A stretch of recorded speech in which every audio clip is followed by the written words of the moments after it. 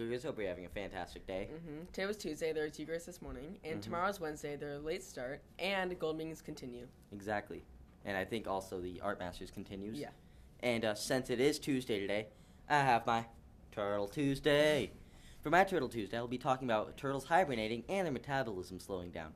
When someone's uh, when like a turtle's metabolism slows down, then it, it doesn't eat that much and it just like slows down. Doesn't really do Yeah. that much. Can't relate. So- yeah, I can relate. It's those lazy Sunday mornings in bed.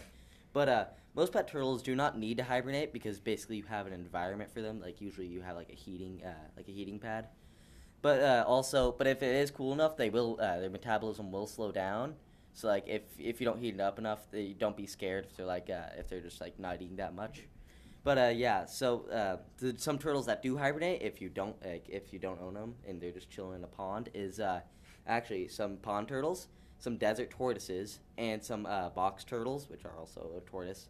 And uh, yeah, so like pretty much, don't be afraid if your turtle's just chilling out. And I've seen Jacob's turtle habitat before, and it's pretty set up. Like there's a heating thing, like Yeah. the light. I have two heating. So yeah. Jacob's really caring for his turtle because he cares a lot about turtles. Thank he even you. brought this as a special gift. Thank so. you, thank you. I appreciate it. Yeah.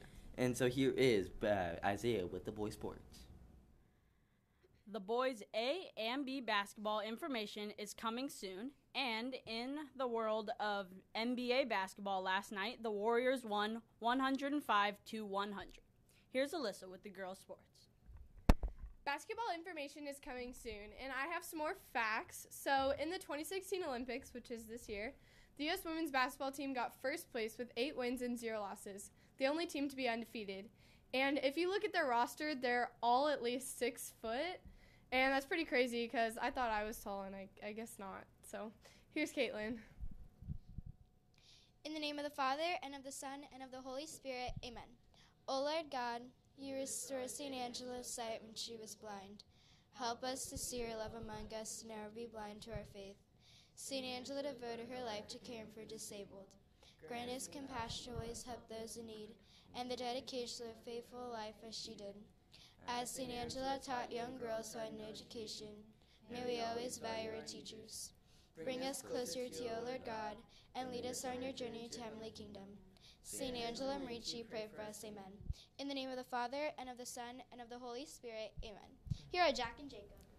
And also, just a reminder, reminder, today is the last broadcast that Jacob and I, or all the eighth graders, are going to be Mhm. on. So no Alyssa either. Oh wait, Oh, wait, actually no. no, because tomorrow's afternoon. Yes. Yeah, and, And, I'm then super excited. Thursday For, won't work, and Yeah. nor Friday.